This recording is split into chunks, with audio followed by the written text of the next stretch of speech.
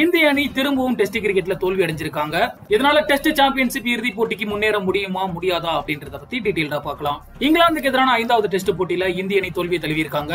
நடப்பாண்டுல வெளிநாட்டுல இந்திய அணி எந்த ஒரு போட்டியிலுமே வின் பண்ணல. இதனால உலக டெஸ்ட் சாம்பியன்ஷிப் தொடரின் இறுதி போட்டிக்கு இந்திய அணி முன்னேறும் வாய்ப்பு இடையாதான் மாறி இருக்கு.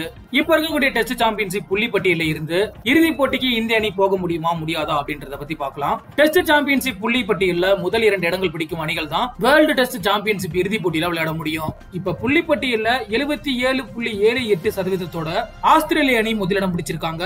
எழுபத்தி ஒன்னு புள்ளி நாலு மூணு சதவீதத்தோட சவுத் ஆப்பிரிக்கா அணி இரண்டாம் இடம் பிடிச்சிருக்காங்க. மூன்றாம் இடத்துல பாகிஸ்தான் இருக்காங்க. நான்காம் இடத்துல தான் இந்திய அணி இருக்காங்க. நியூசிலாந்தும் இங்கிலாந்தும் பாயிண்ட்ஸ் டேபிள்ல ரொம்பவே கீழே இருக்காங்க. அவங்க ரெண்டு பேருமே இறுதிப் போட்டிக்கு போகிறதுக்கு வாய்ப்பு இல்ல. ஆனா இந்தியாவுக்கு சான்ஸ் இருக்கு. மொத்தமா மீதம் இருக்கிறது இந்தியாவுக்கு ஆறு டெஸ்ட் போட்டிகள். இதுல ரெண்டு டெஸ்ட் போட்டி பங்களாதேஷ் கூட விளையாட போறாங்க. நான்கு டெஸ்ட் போட்டி ஆஸ்திரேலியா கூட விளையாட போறாங்க. இந்த ஆறு போட்டியிலுமே இந்தியா வின் பண்ணி ஆகணும். அப்படி ஆறு போட்டியிலுமே இந்தியா வின் பண்ணிட்டாங்கன்னா வேர்ல்டு டெஸ்ட் சாம்பியன்ஷிப் ஃபைனல்ஸ்குள்ள போகலாம். அதுல ஒருவேளை மலைகில வந்து ஒரு மேட்ச் டிரா ஆனா கூட இந்தியா ஃபைனல்ஸ்குள்ள போக முடியாது. வாய்ப்பு அவ்வளவுதான். இதுல ஒரு சாதகமான விஷயமும் இருக்கு. இந்த ஆறு மேட்ச்மே நடக்க போறது ஸ்பின் பவுலிங்க்கு ரொம்பவே சாதகமா இருக்கக்கூடிய ஆசிய மைதானங்கள்ல தான் இந்த மேட்ச்ல நடக்க போகுது. இது இந்தியாவுக்கு கொஞ்சம் சாதகம் தான் அதே சமயத்துல பாயிண்ட்ஸ் டேபிள் நமக்கு போட்டியா இருக்கக்கூடிய South Africa Pakistan West Indies இவங்களும் அவங்க விளையாடக்கூடிய டெஸ்ட் போட்டிகள்லாம் தூக்கணும் அப்படிங்கிறது குறிப்பிடத்தக்க விஷயம். சோ இந்தியா விளையாட போற அடுத்த ஆறு டெஸ்ட் போட்டியிலுமே வின் பண்ணா மட்டும்தான் வேர்ல்டு டெஸ்ட் சாம்பியன்ஷிப் ஃபைனல்ஸ்குள்ள போக முடியும். இந்திய அணி வின் பண்ணி வேர்ல்டு டெஸ்ட் சாம்பியன்ஷிப் ஃபைனல்ஸ்குள்ள போவாங்களா அப்படிங்கிற உங்களோட கருத்துக்களை நீங்களும் மறக்காம உங்களோட கமெண்ட்ஸ்